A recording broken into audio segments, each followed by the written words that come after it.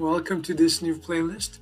In this playlist, I'll be talking about how we manage data in Grasshopper and what are the types of different data.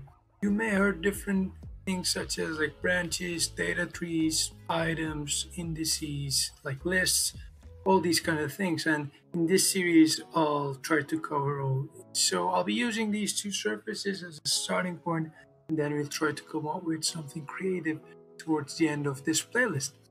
So these two surfaces are going to be our starting point. So what is a data tree or what is a how data is being structured in Grasshopper. So before we go into all those, let me take these two surfaces as my inputs here. So I say set multiple surfaces.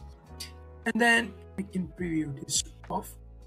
These two surfaces, if I grab a panel here, you would see that they are stored under the panel and they're stored as reference surface and reference surface. And you see it's listed under this guy here 0, 0, and 1. And if we, like, let's say put a grid on these surfaces, we just wanted to cre create sort of a, um, uh, divide these surfaces with points. So automatic values are 10 by 10, so it's putting this. But let's say 2 and 3.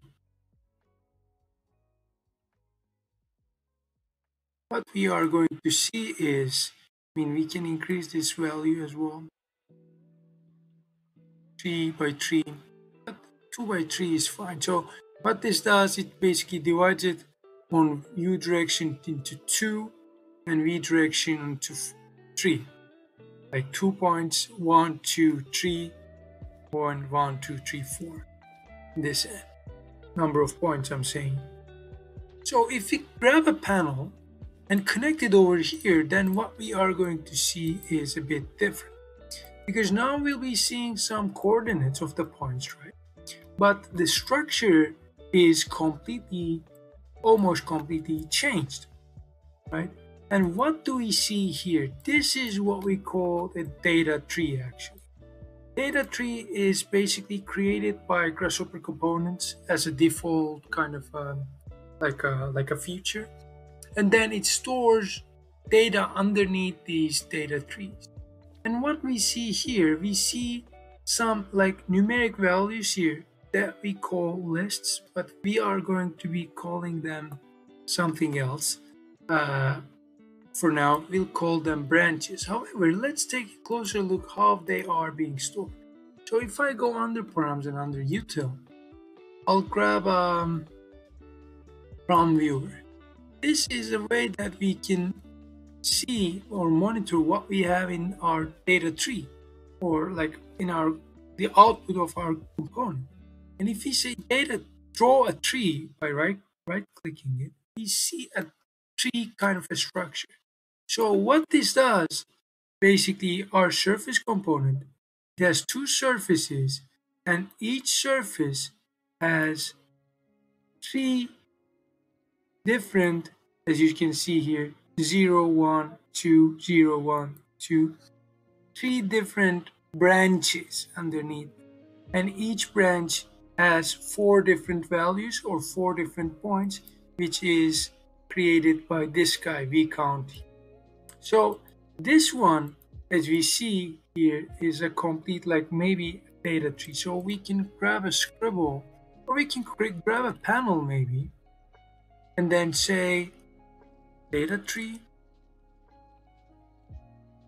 and maybe we can just increase the text like I don't know 50 bold say okay Okay, this is our data tree and maybe we can change the color of this to red. So data tree is this. And underneath the data tree, the things that we are seeing is all these things, all these like 001 is a branch, 0, sorry, 000 is a branch, 001 is a branch, 002 is another branch. Then we have 012, meaning this is another branch, but this branch is no longer belonging to or doesn't belong to this surface. It belongs to this surface. That's why the path has changed. This is, by the way, called a path. Okay, so these names are being called path. But all the things that we see here are lists or branches.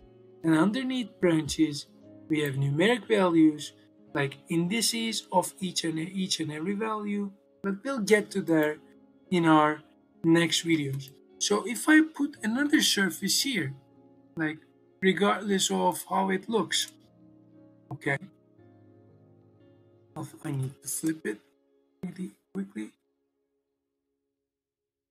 And if I need to add this this time, so if I right click to this and manage surface collection, add one more surface and click OK, you see now I have in total I would have what? I would have uh, 36 points underneath of nine different branches and each branch has four points. And you see my path has changed because not changed though I had I had another path meaning I had another surface. I delete this I will go back to normal. If I say multiple surface it's basically this. And in the next video I'll go in detail for each and every each and every uh, aspect that I just covered in more detail. So stay tuned for the next videos to cover more about the data trees or data structures data management overall